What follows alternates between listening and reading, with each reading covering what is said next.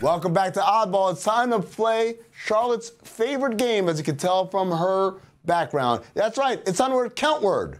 Count word, count, Count word, count word, count word, count word, count word, count word, count All right, word, this count is word. this is the game where we ask each other questions. We got to answer the questions in ten words. Ten words. Ten words. Ten words or words less. or less. All right. So Charlotte, you know Yes. what? You lead us off this time. I'll, I'll go second.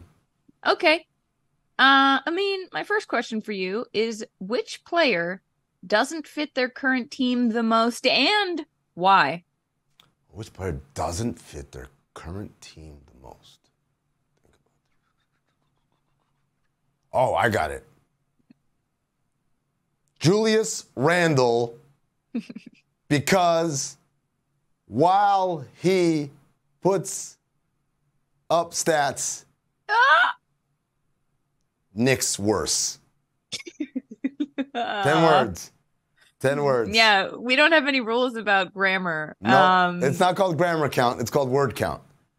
Yeah, I, look, he's he was all an all star last year, all NBA, and I believe a lot of that is because he puts up a very magnificent stat line, and the Knicks won games. But I don't think those two things are corroborated. If anything, he gets in the way of the team's success because I don't think he plays within a team concept well. I don't think he handles adversity well, and I think the Knicks as I always like to say, they have a civil war going on within the Knicks, which is the players who are smart and play the game the right way versus the players who don't play the game the right way. And Julius Randle is like the general of the South right there. The, the, the, the parts of the team that don't play the game the right way versus Oh. Jalen Brunson, Hart, I would add DiVincenzo now, all the Villanova guys basically. The Villanova guy. Well, also New York basketball. They want that hard nosed, you know, just grind it out basketball. And then all the Knicks fans are like, wow, Randle's ankle was a little bit twisted. And it's that whole. Uh, It sounds like you have to hear this a lot, like in the house. In my personal life? Yeah. That's, No. That doesn't seem like something you picked up on the streets, just walking down the street.